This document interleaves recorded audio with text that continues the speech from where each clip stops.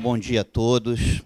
Eu primeiro queria agradecer ao Marcos, ao Guilherme, o convite para estar aqui e a honra para para ser esse facilitador, esse coordenador dessa, desse debate à tarde. Quero dizer para vocês como eu vejo a RAPS. O Marcos aqui apresentou o que é a RAPS, e eu vou dizer para vocês como eu vejo a RAPS. Primeiro, se isso aqui fosse o Congresso Nacional, o Brasil estaria muito bem. Porque aqui vocês conseguiram montar uma seleção.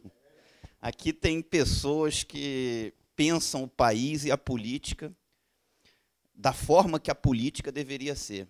Porque política é algo muito nobre, é algo importante, é algo onde você pode construir soluções para melhorar a vida real das pessoas. E eu, pessoalmente, acho que não tem saída fora da política. E, para mim, é muito triste o momento que a gente está vivendo. Porque a gente está vivendo um momento muito perigoso, onde, além de é, resistências a governos legítimas por fatos que ocorreram, além disso, há um processo crescente na sociedade de criminalização da atividade política, onde o político, só porque ele está na atividade política, ele passa a ser um suspeito em potencial. E ele vira um réu tendo que provar a sua honestidade a cada dia. E se a pessoa é honesta, a única coisa que ela não topa é ver sua honestidade em xeque. Eu já estou cedendo minha vida para servir o coletivo aqui. E ainda vou ser questionado, ainda eu que vou ter que provar que eu sou honesto todos os dias. Então isso se torna um desafio para todos nós, que fazemos política é, por vocação, por serviço à sociedade de fato.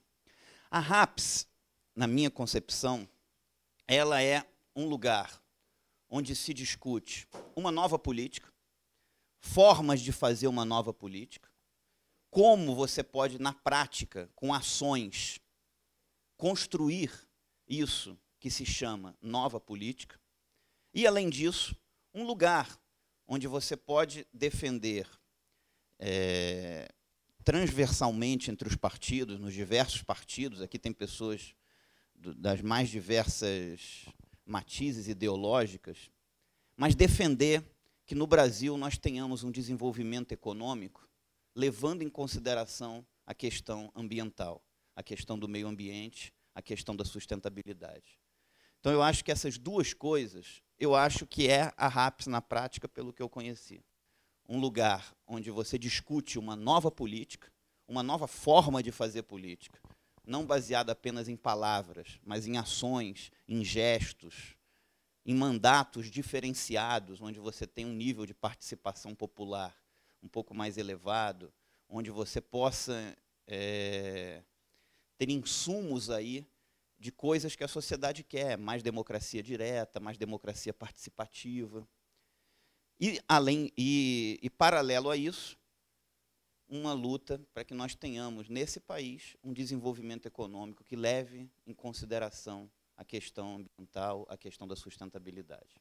É isso, é assim que eu vejo a RAPS. E fico feliz, Marcos, dessas pessoas estarem aqui. Não conheço todas, mas as pessoas que eu conheço que, que estão no Congresso Nacional, eu diria que você, que vocês, não só você, mas o Guilherme, e toda a equipe que está aqui, que fez a seleção, vocês todos buscaram a nata da, da política, a nata do Congresso Nacional. E acho que se a gente tem que fazer uma coisa com esse país nos próximos anos, é recuperar para a sociedade o valor da política.